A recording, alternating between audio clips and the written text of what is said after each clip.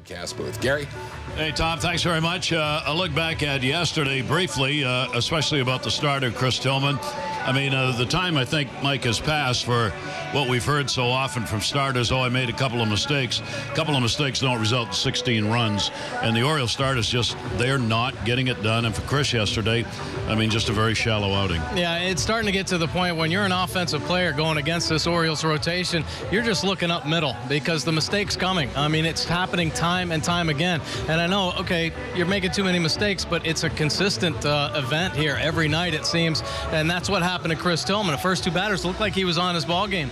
But uh, then he started messing around a little bit. When he fell behind, the mistakes were coming and they were getting hit hard. And when you make mistakes against this Yankees team, I mean, this is one, uh, one of the strongest offenses, the strongest right now in the American League. And it looks like they're just going to get stronger. And one of the things we were talking about, Mike, that happens for the ball club overall, when your starters are struggling this way, you get behind so early and so far that it's very tough to take those at bats. It is.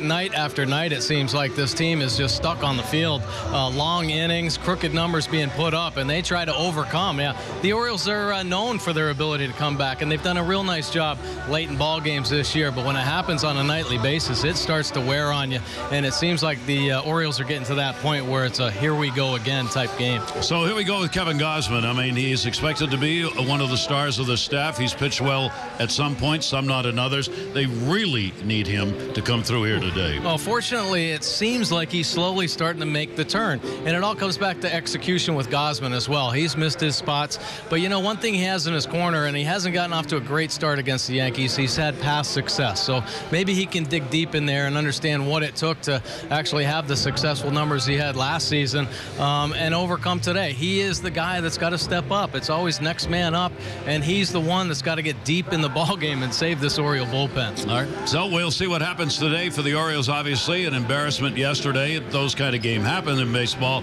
but you really want to come back the next day and make a statement, and we'll see whether or not the O's can do that. Tom.